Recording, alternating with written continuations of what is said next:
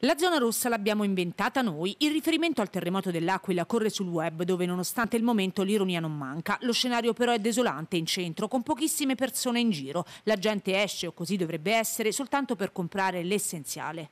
Come vedete alle mie spalle all'Aquila gira davvero pochissima gente, nessuno, possiamo dire la strada è vuota. Questo è il primo giorno di lockdown, di zona rossa per tutto l'Abruzzo e siamo venuti in centro a vedere com'è la situazione eh, per quanto riguarda le attività commerciali. Le due facce della stessa medaglia perché per esempio ci sono attività che possono restare aperte, è il caso di quelle che vendono eh, l'intimo, la eh, biancheria e poi eh, soltanto pochi passi eh, del nostro viaggio, del nostro percorso e vediamo altre serrande drammaticamente abbassate, che sono quelle ad esempio dell'abbigliamento, delle calzature, ma anche delle eh, gioiellerie. Questa è l'Aquila nel primo giorno di lockdown da zona rossa.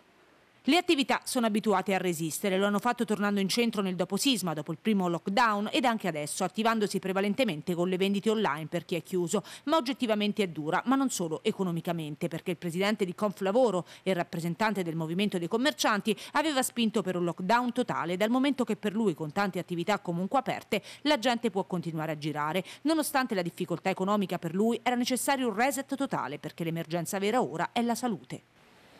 È una grande tristezza, è vero l'Aquila è doppiamente penalizzata, eh, la nostra città, da, sia dal, dalla ricostruzione, dal terremoto, da mille, da mille altre situazioni.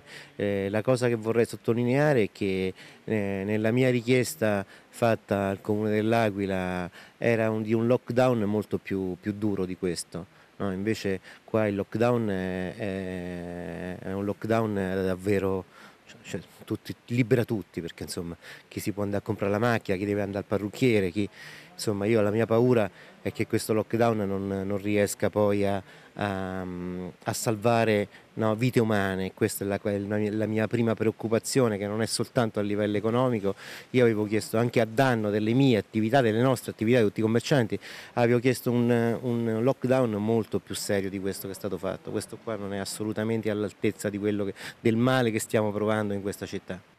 Anche nei centri commerciali i supermercati sono aperti, così come negozi per bambini, le librerie. Nel centro commerciale L'Aquilone sono comparse anche le luci di Natale, un segno di speranza forse in mezzo alle persone che un po' rassegnate si mettono in fila per la spesa. Comunque anche qui di gente ne gira poca.